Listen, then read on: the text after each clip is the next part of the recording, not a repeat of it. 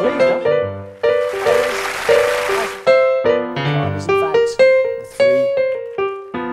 I do this, you don't see that go. And if there, that jumps to there, that jumps to there, the polo's there, and that's it. It actually is the six of spades. And you pick up the two queens and place them on top. You can then push this in with your index as I throw the coins down, I let go.